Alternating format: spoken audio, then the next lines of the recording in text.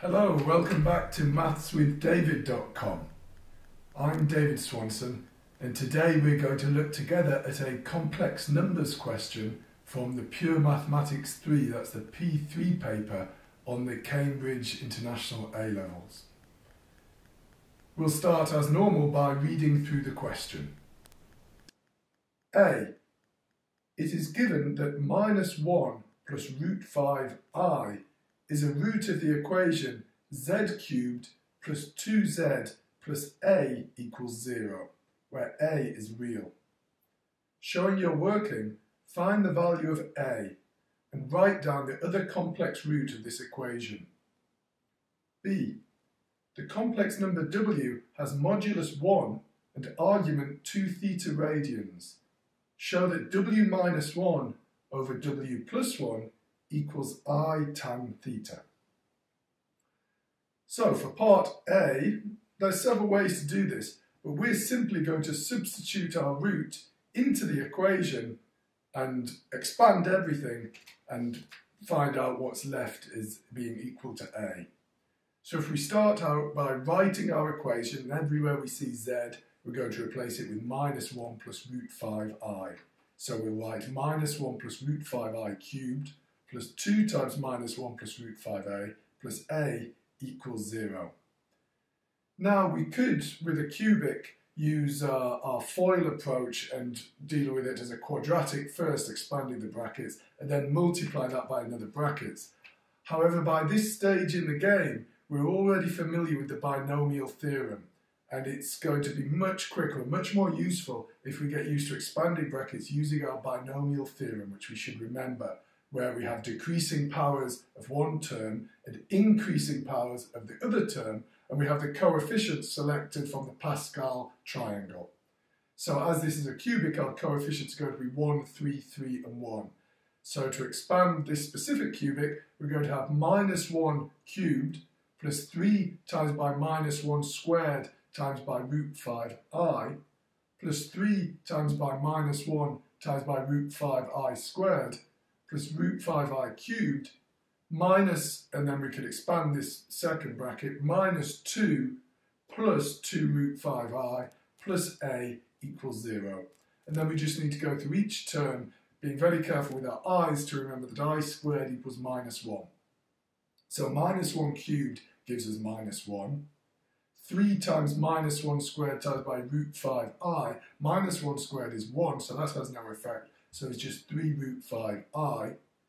3 times by minus 1 times by root 5i all squared. Well, our i squared gives us a minus 1, which combines with our other minus 1 to cancel out. So we've got the root 5 squared, which is 5, times by 3, so we've got 15. Plus root 5i cubed, well, i cubed is minus i, so this is, and root 5 cubed is 5 root 5, so this is minus 5 root 5i minus 2 plus 2i root 5i plus a equals 0. Now if we look carefully at the left hand side we can see we've got a plus 3 root 5i, a minus 5 root 5i and a plus 2 root 5i. Now they all cancel out, so all our imaginary terms cancel out and we're left with minus 1 plus 15 minus 2 which is 12 plus a equals 0. So straightforwardly we can see a is minus 12. And there was a last bit to the question which asked us for the other imaginary root. Well, if minus 1 plus root 5i is a root, then the conjugate, minus 1 minus root 5i, is also a root. So now to part B. On part B, again, there's several ways that we could approach this. We're given the modulus and the argument, so we're going to be dealing with the polar form somehow. Now there's two ways we could deal with it. We could look at putting this in trigonometric form straight away, as we can see our answer has tan theta, or we can use exponential form first. I'm going to use the exponential form first, as that's a simpler solution. Either way, you would get the marks. So start off, we've got a radius of 1, uh, sorry, we've got a, um, we've got an r of 1, a modulus of 1, and we've got an argument of 2 theta. So if we put that in exponential form, it's 1 times by e to the 2i theta, or simply e to the 2i theta. So we want w minus 1 over w plus 1. So that's e to the 2 theta minus 1 over e to the 2 i theta plus 1.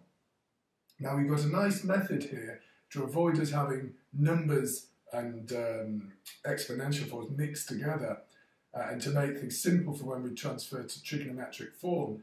And what we're going to do is we're going to divide the top and bottom of our fraction by e to the i theta. What does that do? Well, it makes our term on the top left e to the 2i theta divided by e to the i theta is e to the i theta minus 1 divided by e to the i theta is e to the minus i theta. So on the top we've got e to the i theta minus e to the minus i theta. And similarly on the bottom we've got e to the i theta plus e to the minus i theta. Now it's much easier to transfer to trigonometric form now because we don't have our, our two thetas, we've just got theta. Like I said, we could have gone straight away to trigonometric and used our double angle formulae, but this is the easiest way to do it. So our e to the i theta becomes cos theta plus i sine theta in trigonometric form, and we're subtracting cos of minus theta plus i sine of minus theta.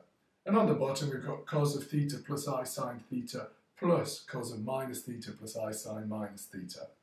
Now to get rid of our minus thetas we can use the fact that cosine function is even and the sine function is odd so our, all of our cosine minus thetas become cosine theta, and all of our sine minus thetas become minus sine theta. So we can rewrite that as cos theta plus i sine theta minus cos theta plus i sine theta, being careful with the minus there because we've got a minus outside the bracket, is uh, over cos theta plus i sine theta plus cos theta minus i sine theta.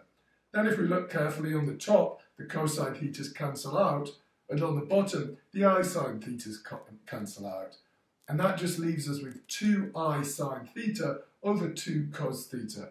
The 2's cancel out, and we're left with i sine theta over cos theta, or i tan theta. So let's look at where the marks are assigned. On the first question, we get one method mark for expanding out the cubic fully. Um, so it doesn't have to be accurate, but we do have to expand it out and then we get a second mark if at some point in our working we've used the fact that i squared equals minus 1. The examiner just needs to see that at some point in the working. We've then got two accuracy marks, one for getting a equals minus 12, and then a straightforward one at the end for saying that the, uh, the other imaginary root is minus 1 minus root 5i. The marking in the second part, we get one accuracy mark for rewriting w as e to the 2i theta in our fraction, or if we go the trigonometric route, we get it for putting it correctly in the trigonometric form, cos theta plus i sine theta. We get a second mark on the route that we've gone by dividing through by e to the i theta. And then we get a third mark for switching into the trigonometric form correctly. That's an accuracy mark, so we have to have the numbers, uh, the, the, every term exactly correct on that one. And then we get a further accuracy mark for getting something equal to i tan theta, in our case 2i sine theta over 2 cosine theta. So I hope that uh, worked exam question has been useful. There's plenty more on the site, www.mathswithdavid.com, and I'll put a link at the end to a playlist which has only complex numbers questions from the uh, Pure Maths 3 paper. As always, if you have any comments or recommendations, please put them below, whether you're watching on the YouTube page or on the site. Either way, I'll be able to see them and I'll respond as quickly as possible. And uh, we'll also put the link at the end to subscribe to the channel if you want to be updated with further videos. Thanks for your attention. See you next time.